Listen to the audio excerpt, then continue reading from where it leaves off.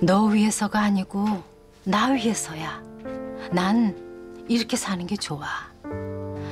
혜린이 살피면서 그거 키우면서 정말 그렇게 사셔도 행복하세요? 그래. 혜린이 그거 미워하느라 애쓰는 것보단 그냥 품에 안고 사는 게 편안하다. 도인아, 난 이렇게 내 편안한 대로 살 거야.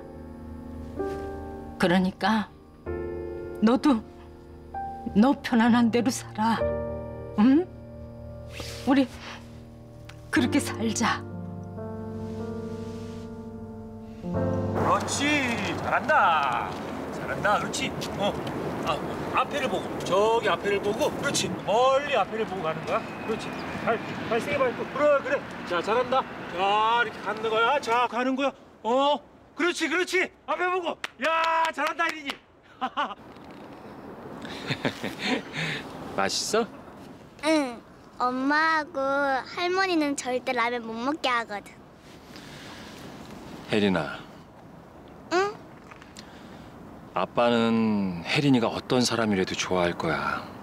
나도 나도 아빠가 어떤 사람이라도 좋아해.